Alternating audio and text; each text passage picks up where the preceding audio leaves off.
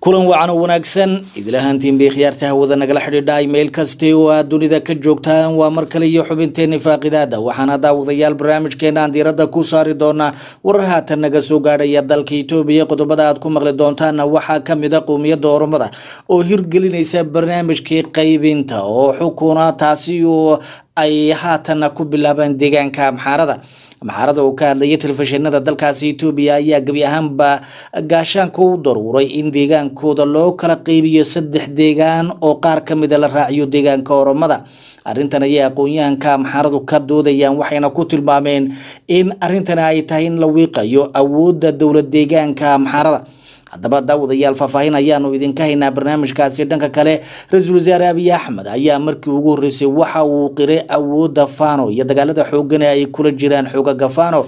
Sidoo kale waxa uu sheegay in fano ay ku jabeeyeen waxa loo yaqaano artificial sirdona oo ah in dadka shacabka ee amxaarada ay adeegsanayaan waxayna adeegsanayeen goobaha ay ku sugayeen iyo weliba hubka meelaha uu yaallo.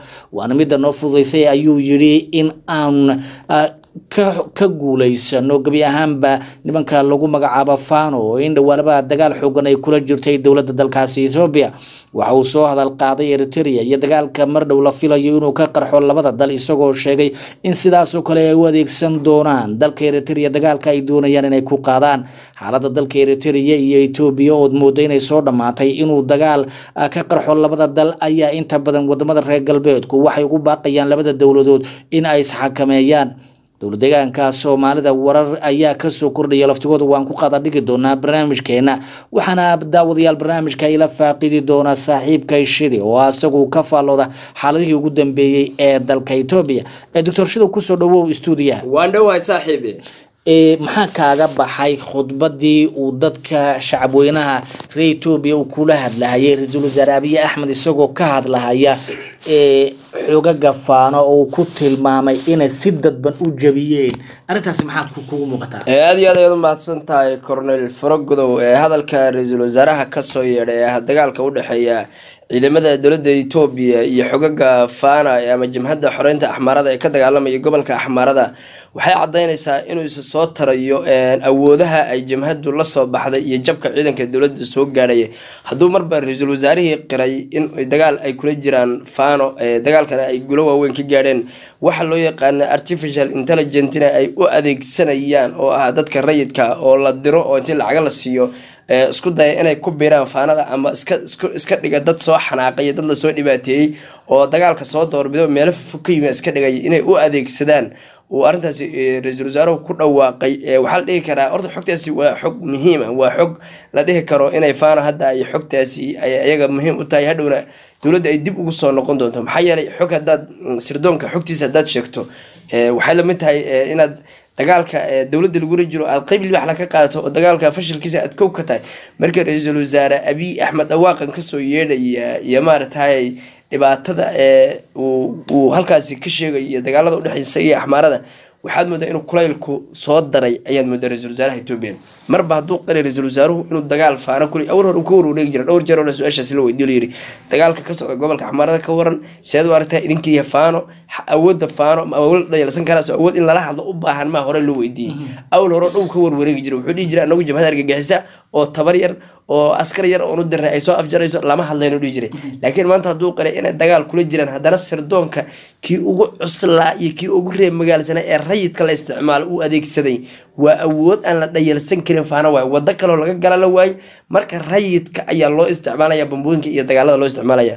Marka abiy axmed waa dagaal culusba halkaasi kaga socda wauna qiray waxaadna moodaa axmaaro sida ay hadda baraha bulshada ku qorayaan iyo taageerayaashooda inay sii kordhayaan marba marka ka dambeysa inay dad rayidoo aada u tira badan ay kasbanayaan in siyaasadii abiy axmed ee guud ahaanba dalka etoobiya inay soo xidhxidhmayso oy ku soo koobmaysa kilo arad ayaad moodaa. Marka dagaalka halkaasi ka socda waa ku dhinac u dhici doona abiy axmedna xogo waxaa soo kordhayay inay ra'iisul wasaaraha hadda loo sheegay digninka ugu dambeeya la siiyey oo nimankii deeqbixiyaashu ay u sheegeen inuuna tallaabo dambe rogi karin. Ilaa go'aan dalka etoobiya laga gaadho oo qaabka inuu asagu sii maamulayo iyo inuuna maamulayna go'aan laga qaadanayo oo hadda ay xogo rasmi ah socdaan oo warkeena dambe ku sheegi doono ayaa jira. Marka ra'iisul wasaare abiy axmed dhiiqa ayaa lagu haloogeli wuuna fashinay dagaalka gobolka axmaara ka socon wuu ku jabay ciidankiis way jabeen. Eh, waan garanay isla khudbadan waxa uu tilmaamay oo ku sheegay in dalka eritrea oo in dhawaalaba Ruus- ruusi labada dhinac uu ka dhexeeyey in eh, laftigoodu u adeegsan doono arintana in shacabka la adeegsado. Weliba wuxuu carabka ku dhuftay qowmiyadda aan idhaahday canfarta oo labada dalba degta oo isaga dhurdurdurdaysa dalka ethoobiya iyo eritrea oo de waa dad shacabahoo wada dhashay oo aan la kala goyn karin. Marka maxay kugu muuqataa arrimahaasi? Horta ra'iisul wasaaruhu inuu hadda soo barbar dhigo een, dagaalka gudaha etoobiya ka soo iyo kan dalka eritrea la qorsheynayo inuu labada dal dhex maro mid isku mid ah mid lasbarbar dhigi kara ama mid maarata isku isku wajaha qaadan kara maaha. Oo laba dalo laba dad oo laba dagaal oo isku mid ah ma waxa dee wax isdagaalaya waa laba dowladood aad u awood badan waaye. Ama hubka la isticmaalayo ma noqonayo een, in fooda la isdaro way- hataa inay ciidamadu fooda isdiraan oo jilibka lasu dhigo labada askari ay madax iska toogtaan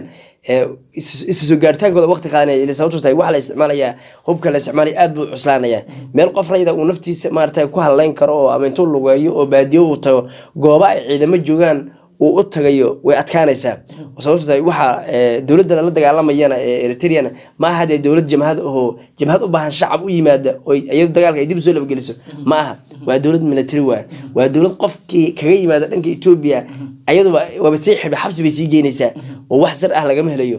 Oo waa dowladda muddo dheer hawshan ku soo jirtay. Ayadana ka hormarsan waa. Marka abiy axmed hadallada ka soo yeedhaya waa hadal dhaclayn baa la dhihi kara dhaclayn. Nin fashilmay nin dagaalkii ku fashilmay nin qorshihii iyo hogaamintii iyo hagidii dalka etoobiya ku fashilmay oo dhaclaynaya ayuu la mid yahay. Eritrea etoobiya waxaan hubaa hadday fooda isdaraan inaan etoobiya ayna maalin iyo laba ka badan dagaalami karin. Oo eritrea ay awood u leedahay haddeen ayadu is xakamayn eritrea awood waxay u leedahay inay gebi ahaanba dalka etoobiya ay afka ciidda u geliso oo ilaa adisaba ay ciidamadoodu gaaraan awood ayuu leedahay. Eritrea weli way isxajinaysa wax badan bay ilaalinaysaa xeerka caalamiga ayay ilaalinaysaa in intay dal soo gasho oy soo farageliso ay qabsato oo ilaa madaxtooyisi ilaa gaashaanigii la wareegto way awooda oo dalka etoobiya laakiin xeerka caalamiga ayaa ilaalinaya oo ayna arrintaasi u sameynan inkastoo ciidamada dalka eritrea ay haddaba ku jiraan waqooyiga etoobiya ama ay ku sugan yihiin gudaha dalka etoobiya oo laakiin taasi waa eh, daliil kale haystaan. Oo waxay leeyihiin dhulkan annagaa lahaan jirnay. Waa dhul nalaga qaatay. T b lf naga qaadatay oo waqtigii jamhadihii eh, malis wadanka qabsaday. Ayuu dadki markii eh, etoobiya aan la qabanay ayuu dadki etoobiyaanka intuu dib u soo mideeyey. Ayuu boqolkii madiina dib noogu soo jehiyey dhulkan marka waa xeer dhulkii anagu aan lahayn xaqa u lahayn ee eritrea ay ku jamhadayn jirtay ee waqooyiga etoobiya la soo dhigi jiray ilaa badan cas ilaa dhulka eritrea ilaa waqooyiga tigray dhulkaas dee wuxuu ahaa dhulkii jamhadihu ay ka dhaaqi jireen. Sida ay tahay tigray xuduud dheer oo gobolka eritrea gudaha ay geliyeen ilaa baarama gudaha ay geliyeen oo dhulkii eritrea qabsadeen. Marka eritrea waxay lehay maanta waa maalinkii dhulka naga anagu aan haysan lahayn ayaa la joogaa. Oo awoodde waxaan maanta waa awooddii aan xuquuqdana ku dhacsan lahayn ayaa la joogaa. Siisoo dhul hadduu dhulkaa qaato dee siisoo maalinku ku daleecsan waa- waad ku digan mugtahay waad ku diganaysaa. Marka eritrea maanta waa ku digasho inay etoobiya dhulka annagaa lahayn oy ku qabsato. Waa- digasho. Dee way u daleecsan etoobiya yaa u leecday. Marka eritrea awood la'aan ma hayso ay maanta ay dhul etoobiya ay maaragtay ay kaga hor istaagto. Eritrea wado kastaa u furan. Etoobiya burburisaa u furan. Wax ka celinaya male laakiin shuruucdaa ilaalinaysa. Dhul ay laga haysta inay qabsatana sharcigeeda u ogolaanayo adduunka way jirtaa. Nin dhulkiisa uu qabsado wadahadal waa ku qadi maysid hadhow etoobiya wadahadal baa u furan. Marka eritrea etoobiya abiy axmed abiy axmed waa sida uu sheegay waa ninkii axmaarka ka hadlayay abiy axmed ma gaari doono badcas. Kahor buna xukunkiisu dhacayaa barnaamijkii baa socda. Barnaamijkii ayaa socda. Marka abiy waa gebi dhaclayn. Inuu marna dhaho axmaaro ayaan dagaal culus kula jiraa. Maruu dhaho eritrea nosin xogtiisii uu sii fidinayaa. Waxa ay samayn doonaan. Siyaasad maa waxaas diblomaasiyadna maaha eh, tala sirdoonna maaha tala dagaalla maaha qorshe dowladeedna ma aha.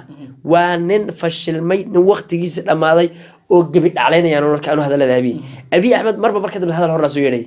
Maalnimo shalay waa kiila waxaan adeegsanaynaa tiknolojiyadda askartanadu ma gaari doonaan ama gacan ciidanka oo lama tegi doonaan.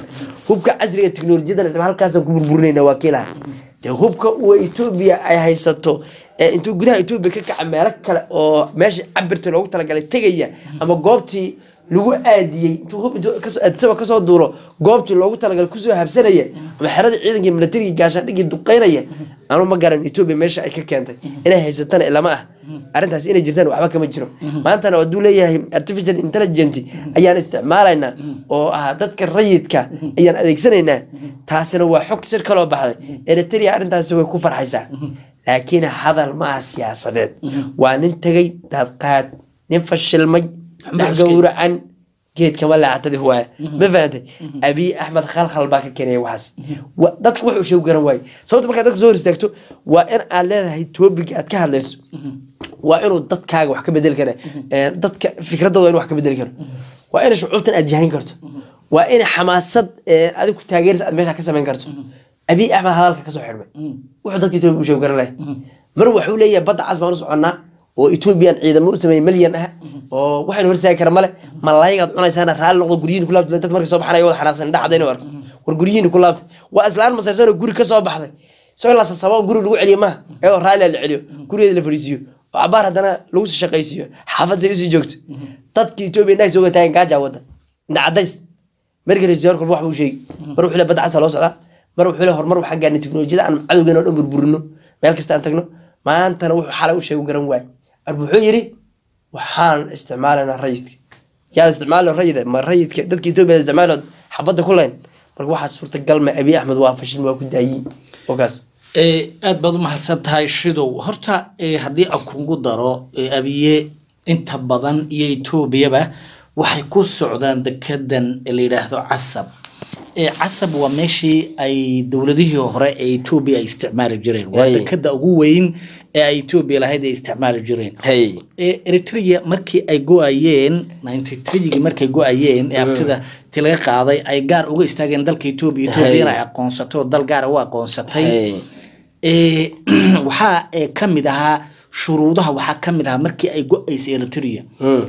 in dekeda casab ay free ku isticmaalaan. Yaa isticmaali dee dadka etoobiyaanka ah hay heshiiskaasaa jiray. Heshiiskaasaa jiray. Hay waxaa ka mid ahaa lacagta la yidhaahdo nakfa Hmm. oo loogu magacdaray mid ka mid a buuraha ee dalkaas eritrea oo xilliga ay ku jabhadayn jireen oo ay dhigan jireen waxa la yidhaahdo ee maxaan ku dhahay dhaawaca iyo dhasha iyo ciyaalka ay dhigan jireen ayaa waxaa jiray ayaa loogu magacdaray buurtaas waxaa la yidhahdaa nakfa la yidhahdaa. Waxay ku taallaa bartamaha dalka eritrea ku taallaa. Waa buur taariikh loo bugaag fara badan baaba laga qorayba to nakfa square baa la yidhaahdaa buug ah yaaba yaaba jiro maxaan ku dhahay laga qoray. Marka lacagtooda maadaama nakfa u bixiyeen markii hore shuruudda waxaa ka mid ahayd in lacagta la yidhaahdo birta ethiopia. Mm. in la wada isticmaalo. Birta ethiopia la wada isticmaalayay hay dekedana free ba waxooda uga soo degayay. Hay waa eritrea ma garanaysaa marka 97kii iyo 96kii dhaba- dabayaaqadiisii ayay eritreanku go'aan qaateen. Go'aamadii qaateen waxaa ka mid ahaa inay lacag samaystaan. Inay hee? Lacag samaystaan. Lacagtan la yidhahdo nakfa hay ayay samaysteen.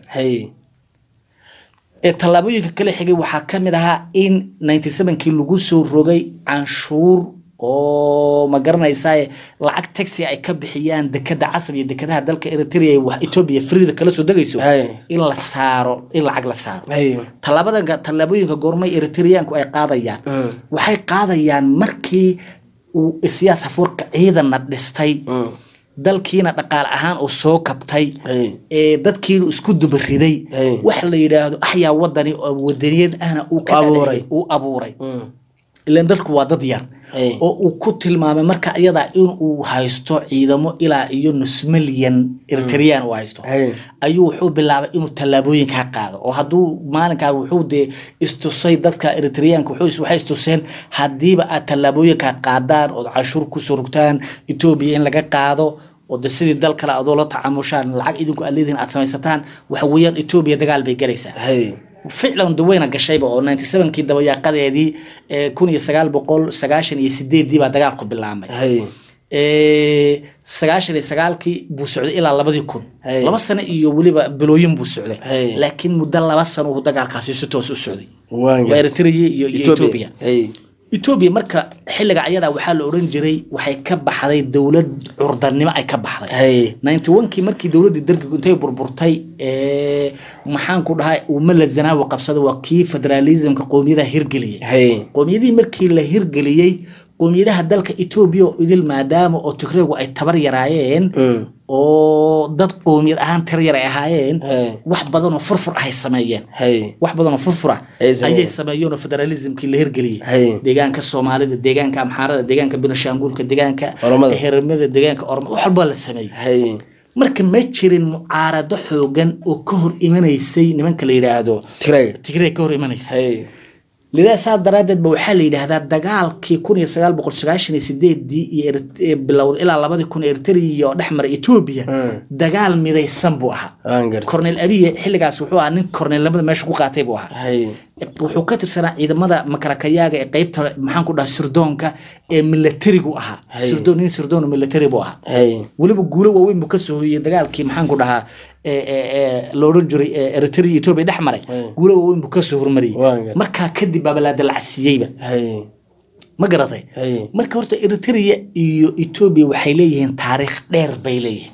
Taariikh dheer yay leeyihiin Ee, etoobiya wixii marka waagaa ka dambeysay ee, waa kuwii ma garanaysaayay nimanka la yidhaahdo tigreegu ay ku amartaagleeyeen waxay ku amartaagleeyeen qowmiyadaha dalka etoobiya ha dad waxay noqdeen wuxuusha. Dhaqmeen. Dadka si xun bay oola dhaqmeen ilaa iska daa maxaan ku dhaha etoobiya dhexdeeda eh Mm. macaa soomaaliya geeska africa waa laga fadhiisan waayey nimankaas. Waxay isbideen inay noqdaanba maxaan ku dhahay wax geeska africa lagaba caabudaba hay heerka Laga ay gaadheen, cabsado. lagaba cabsadaba. Ciidamay ogaad abuurteen ciidamay abuurteen boqol iyo siddeetan kun oo rigli ayay abuurteen maleeshiyaadka marka laga yimaado oo Liyo mushaari boolisyadii. liyo boolisyadii Darsi ku cabsigeliyeen. maxaan ku dhaha wax fara badan bay ma garanaysa ay abuurteen. Marka arrintaasi waxay keentay in ay geeska africa ay sanka qabsadaan. Oy kibraan. Oy ummadii caburiyaan. Oy waxa la yidhaahdo iyo dil iyo kufsi ummad kasta ay u geystaan. Hay oromadan hadda maanta maxaa meesha gaadhsiiyey baa la leeyahay oromadan waxaa meesha gaadhsiiyey dhibaatadii ay tigreegu geysanayeen. Soomaalida maxaa meesha gaadhsiiyey Hey. waxaa meesha gaadhsiiyey dhibaatadii ay tigreegu geysteen. Waxaa jirta caalamka marka la fiiriyo qofku markuu xadgudbo dee lagu tilmaamo. Waa marka odayaasha iyo haweenka uur kale iyo Ciyaalka iyo dadka abriyada ee birumugeydada la yidhahdo markay bahasha u gudubto tigreegu marka waxay u gudbeen abriyadii bay u gudbeen. Si ay dadka shacabka etoobiya u xanuujiyaan oo meel adag u gaadhsiiyaan. Arrintiibaa marka maxay keentay foolkaano inay ku qarxdo gudaha etoobiya ay kaga qarxdo. Oo dhammaanba dee shacbweynaha etoobiya oo ku ka soo horjeesto oo ka soo horjeedsado ay ay ku mudaharaadaan marka arrintii noocaa ahayd ayaa xukunka ka wareejisay. Hay oromo marka. Iyo eritrea dib ugu soo noqonayna oromo iyo eritrea ee, ma aha maan berigaasi markii ay dagaalka qaadayeen siday ahaayeen oo kale ma aha. Etoobiya isfahantay Mm. etoobiya burburtay. Etoobiya qowmiyada u kala fadhida. Etoobiya wax baratay. etoobiya waxbaratay etoobiya jabhado yeelatay. Etoobiya siyaasiyiin fara badan yeelatay etoobiya aqoon- aqoonyahan fara badan yeelatay etoobiya la dhexgalay bay oromo u imaatay marka. Etoobiya kala tagtay bay u timid. Hayay u timid. Hey. oromo marka waxaa la rabay maadaama hogaanka ay qabteen. Sii adkeeyaan federalismka. Waxaa la rabay laba xaalo inay sameeyaan oromadu labada xaalo maxay ahayd? In federalismka awal hore u yaallay qoladan ay sii ma garanaysaa ay hirgeliyeen inay inta ka fudaydiyaan oo dadka waxa la yidhahdo federalismka la dhaqangeliyo ah looga rusheego. Oo barnaamijka qowmiyadaha iyo barnaamijka deegaanada si fiican loo horgeliyo awood loo siiyo in qowmiyad walba ama deegaan walba federalismku ka dhexeeyo. Oo dadka la jeclaysiiyo oo ay noqdaan dad qolo walbaba dee deegaankooda isku maamusha hay. Arrintii marka qoladan oromada iyo siyaasiyiintoodu way ka tallaabsadeen. Hay arrintaasi sababta keentayna waa uga tallaabsanayaan. Waxay istuseen inay ayagu ugu awood badan yihiin. Inay ugu tira badan yihiin. Inay maanta etoobiya ugu dhaqaala badan yihiin. In warkooda loo baahan yahay in la dhagaysto. Inay dhul ballaarsi rabaan. In ay ma garanaysaa dhaqaalo fara badan helaan. Hay arrintii marka ay istuseen waa arrinta eh, yacni siyaasiyiinta dadka etoobiya maanta ay ku tilmaamayaan fashilka ethoobiya waxaa soo dadejinaya siyaasadda qowmiyadda oromada ee ah dhulballaarsiga ee ah wadalihii ee ah anaa ugu badan ee ah anigaa siyaasi keliga aniga hallay dhegaystada ah. Ma garatay marka dadka siyaasadda etoobiya ka nidheeya waxay leeyihiin ethoobiya dhanka siyaasadda iyo diblomaasiyadda ayay africa kaga jirtay meel fiican. Oo waayo xaruntii midooda africa ku taala waxaa ku yaalla world banki baa ku yaalla oo maxaan ku dhahay kule maxaan ku dhahay bankiga africa ku yaalla bangiyada adduunka udil baa ku wada yaalla nooca ay tahay ee, maxaan ku dhahay siyaasad ahaan la leeyahay afrikayba ma garanaysaa ku hogaaminaysaa oo dee qaaradda africa markii la soo qaadaba ilaa afar dal unbaa unbaa muuqda sida inta badan. Kenya oo hadda cidhiirsatay oo dee sooba baxdayba iyadana jirtay. Laakiin waa nigeria waa south africa waa ethiopia waa masar. Masar oo ciidan ahaan ku hogaaminaysa nigeria oo dhaqaale ahaan ku hogaaminaysa dhanka dhismaha iyo ma garanaysaa dimuqraadiyadda iyo horumarka oo south africa ku hogaaminayso iyo ethiopia oo xarumihii ma garanaysaa qaramada midoobay iyo kuwii afrikaba ay ku yaalaan. Marka ethiopia waxaad moodaa kaalinta noocaasa inay lumisay. Inay lumisay. Hadda dalka kenya wuxuu ku tallaabsaday horumar ballaaran buu ku tallaabsaday oo ah dhanka diblomaasiyadda dhanka xuriyatul qowlka dhanka ma garanaysaa isu socodka isdhexgalka bulshada integrationka wax la yidhahdo. Oo hadda madaxweynaha cusub ee dalka kenya furfuraan fara badan iyo sameeyey. oo waxaa la rajeynaya xataa dhaqaalaha dalka kenya wax badan kor u sii kaco la inuu kor u sii rajeynaya. kaco wax badan iska bedelo. Ah. in ma garanaysaay ee- ee- ee dadka kenyaanka? Ah inay ma garanaysaa dhaqaalo fara badan sanadaas ay samayn Ah, doonaan. Dalka horumar badan gaaro. Gaari doono Ah. laakiin etoobiya arrinta tun cagsigeeda ah ayay qaadatay.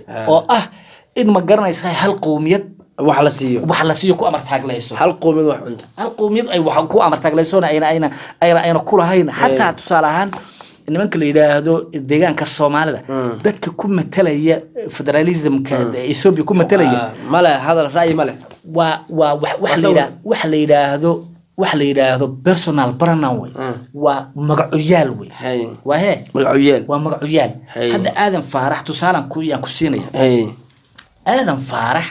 Gudoomiye ku-xigeenka xisbiga. Waa ninka ugu awooda badan ee labaad baa la dhihi karaa. Xisbiga. Magac ahaan. Haddana deegaanka soomaalida.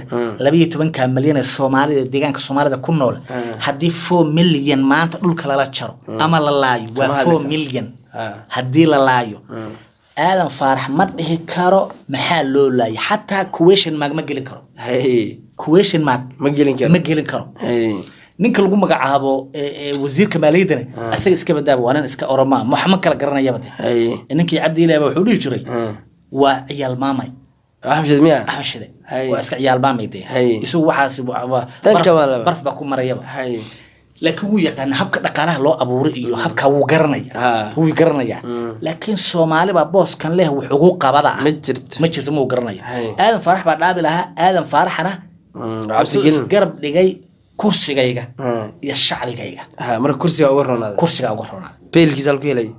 haddii marka afar malyan maanta oo deegaanka soomaalida la baabi'iyo kama hadlayo kama hadlayo haddii dhulkiisa la qaato kama hadlayo haddii ma garanaysaa wax kasta lagu sameeyo deegaankiisa kama hadlayo marka horta dad noocaasa ayaa jira waana habka uu u dhaqmayo abiye iyo qowmiyadda oromada u dhaqmayaan ay doonayaan etoobiya inay ka dhigaan.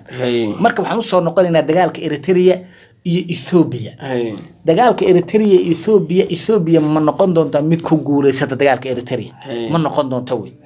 Maaha aniga waxaan leeyahay. Laakiin siyaasiyiinta xabashida iyo oromada dadka maskaxda fayow iyo dadka analyse garaya dalka etoobiya waxay leeyihiin etoobiya dagaalkan hadday gasho way ku jabi. Sababuhuna waa kuwaan soo sheegnay. Hey. qowmiyada midaysan ma jiro. Dowlad kacaan ahoo curdan ahoo ma garanaysa dadka u heelan yihiin oo barnaamij siyaasadeed qorshe cusub la timid. Ma jirto dilkiibaa batay caburintiibaa badatay wax fara badan baa jira. Marka maadaamu arrimahaasoo idil etoobiya ay ku xeeran yihiin abiye hadduu dagaal qaado kama dheefayo waxaan burbur iyo kala taga etoobiya aan ahayn oo si kala ahayn. marka annaga waxaan leenahay haddaan nahay deegaanka soomaalida qowmiyadda oromadu waa inay la timaado fufur siyaasadeed. Waa inay dayso dhul ballaarsiga. Waa inay dayso wadalihi. Hay. waa inay dayso ma garanaysaa anigaa powerful ah waa waxay eedeen nimanka la yidhaahdo. Waa waxay eedeen maxaan ku dhaha nimanka tigreega. Weliba tigreegu federalism bay wadeene. Kuwan federalismka waaba laga takhalusayba waaba la